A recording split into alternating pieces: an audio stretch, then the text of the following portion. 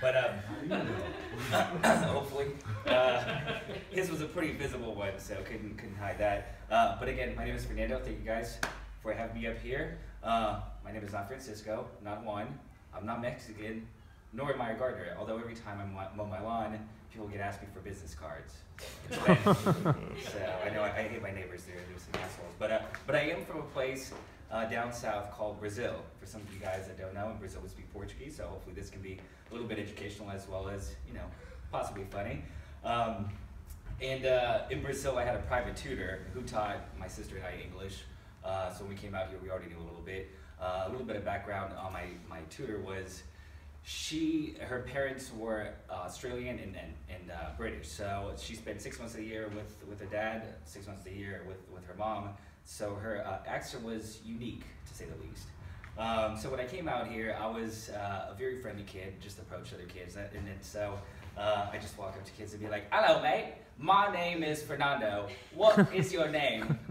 Needless to say, kids beat the shit out of me for many, many weeks until one day my counselor came up with an idea. He said, you know what? He's like, I, I, I figured it out. So he called my mom in, and uh, his idea was, let's just put you with all the special ed kids, which some of you guys might think, okay, there's no way that that's possible, but uh, it is possible when your mother's entire English vocabulary consists of two words, yes and okay so uh, that went really well. Um, and that's, that's, also actually the reason why my mom had about 50 different credit cards with different um, retail stores because every time they would walk up to her and say, man, would you like a credit card? Yes. okay. yes. Um, so uh, we also have a lot of debt in case you guys can't tell. Um, Welcome to America. Yeah, I know. Thank you. Right? Yeah. Uh, now, the uh, eventually, obviously, I got to high school, and uh, the kids in my high school were very different.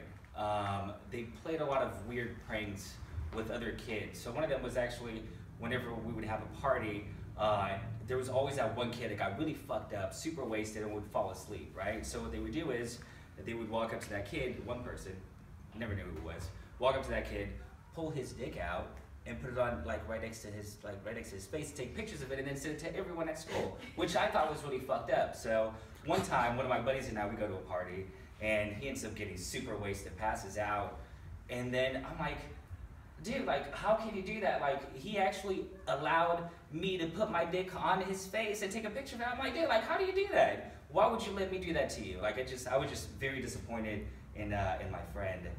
Um,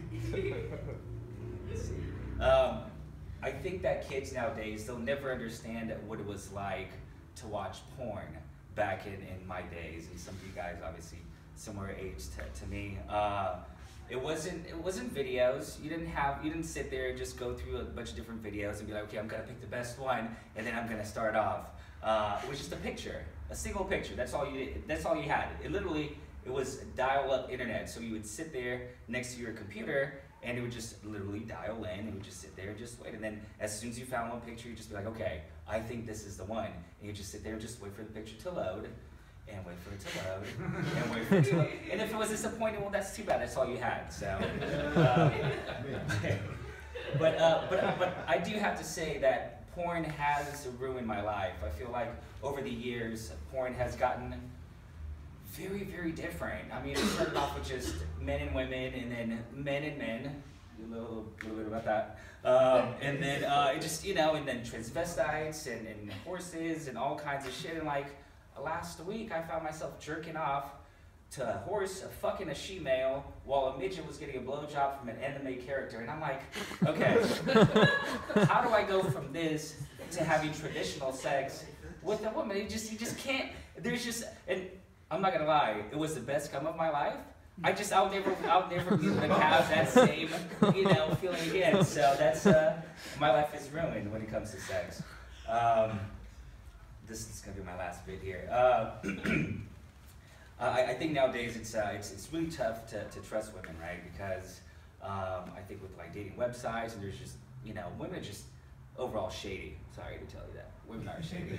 Uh, and so and it sucks because like like even with if I have a girlfriend, every six months I have to go and get tested because you just never know which like which one of the women I sleep with is gonna give me an STD, and I gotta give it to my girlfriend too. So it's just like you just gotta be careful with the women you date out there, man. So just uh, just be careful. But uh, that's uh, that's all I got. All right. All right. Have a seat, have a seat. Do you want me to record the feedback too? Um, yeah, yeah, might as well. Yeah, please, yeah. Sorry, guys, got a little.